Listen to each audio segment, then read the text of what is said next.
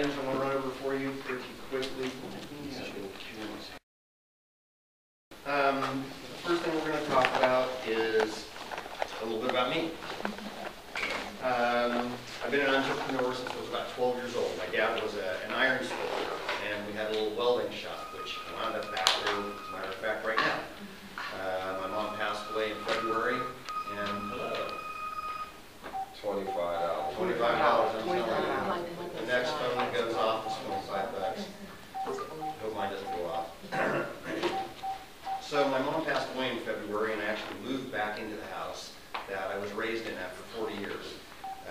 anybody's ever interested in my dad's work, you can go to izzysher.com, I-Z-Z-Y-S-H-E-R dot com.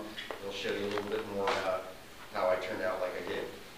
I started, started working on bikes, uh, repairing things for the neighbors. I've been a general contractor since 1980, uh, licensed contractor since uh, 1984, and our company was founded originally in 1978. I'm an expert consultant and an electrician on HGTV House Detective, claim to fame. Of course, they're off the air now, but I'm telling you, it was a lot of fun. So, as a homeowner, how we can help you and your homeowner. Lights, camera, action, really, because helping with lighting, helping your customers get wired and remodel their homes too, and respond quickly. Uh, we even have a 24-hour client emergency program. So this means if uh, you are a client and you call us, you will get 24-hour emergency service. I can't offer that for everybody, but our clients, when you need something, we're going to come and take care of it right away. Um, we've got a few safety items here that I wanted to show you. I passed around um, a couple of items. One of them was the the little receptacle. I know this looks dumb, but if anybody has one, or if you could go ahead and grab it, take a look at it. This is not just any old plug. If you look at this, you'll notice that your kids cannot stick a paper clip in this. Themselves, kill themselves, burn themselves. I mean, I used to do it when I was a kid. I'd take a paper clip, wow, let's see, let's try this. And we'd plug it in there and it would burn our fingers up. You ever do that before? Yeah. Keys, all right. Well, if you look at this, you will notice that there's plastic over the holes. Big safety feature. These are required. You don't have to take those dumb little caps that uh, your kids always want to pry off and plug them over the plugs that you can't get off yourself and you wind up breaking your fingernails. Um, so these are really important. This is the code. This is what you must have. You can retrofit your existing houses with these. These are cheap. I mean, they're like a buck each or so. If you- one of you happens to need to take one of these with you tonight, today, feel free. Go ahead and take it with you. And the rest of them, we put back in boxes. Another little item which is required is GFIs. Now, you've probably seen these in your kitchens, in your bathrooms. Um, These are kind of like seat belts. A lot of you, of course, most of you aren't over 29, so you wouldn't know, but I, when I started driving, we didn't have seat belts, just didn't need them. Airbags, just didn't need them. But you would not buy a car, you would not put your kids in a car without airbags, let alone seatbelts. These are seatbelts. These turn off at 3 milliamps. Your fingers run on milliamps. This is 5 milliamps going right here, making my fingers move.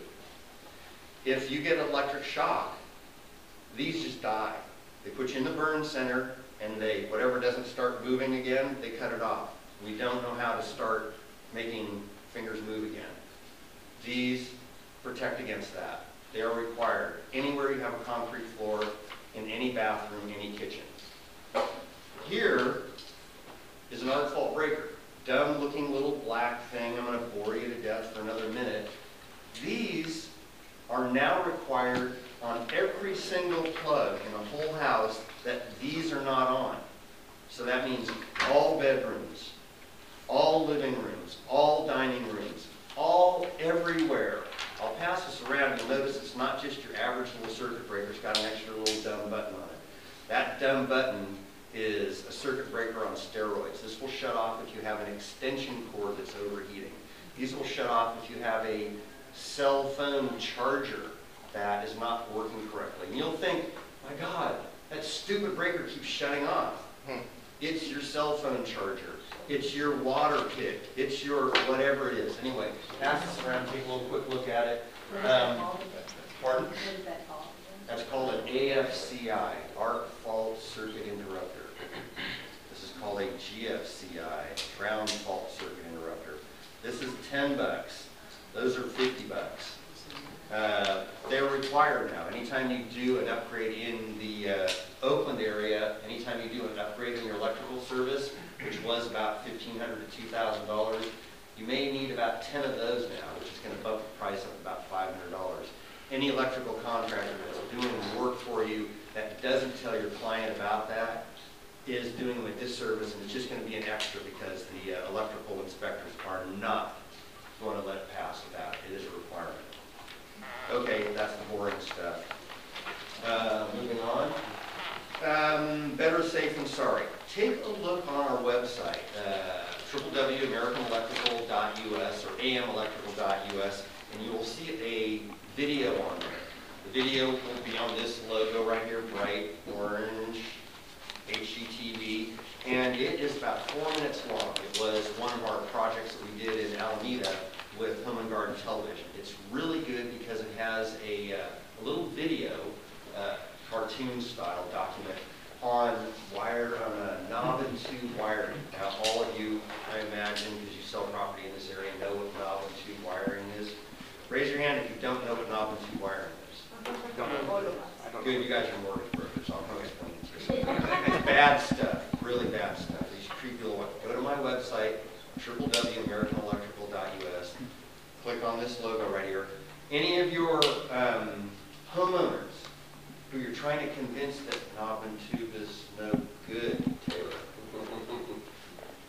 um, go click on this little video. It will show you why it's no good. It'll show you why an upgrade is necessary and how to uh, take care of it. Um, So that's video.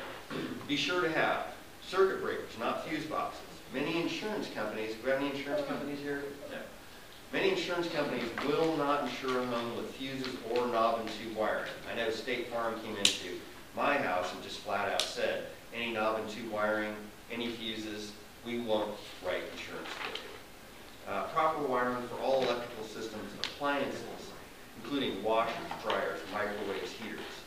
Security lighting and secure devices, devices. Be in conformance with the California Building Code.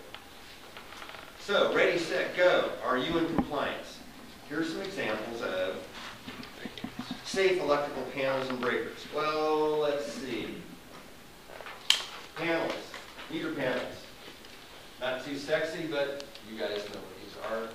Sub panels, somewhere inside your house in most houses, and circuit breakers, single pole, double pole, or arc fault, fifty dollar expensive breakers, really, really save lives.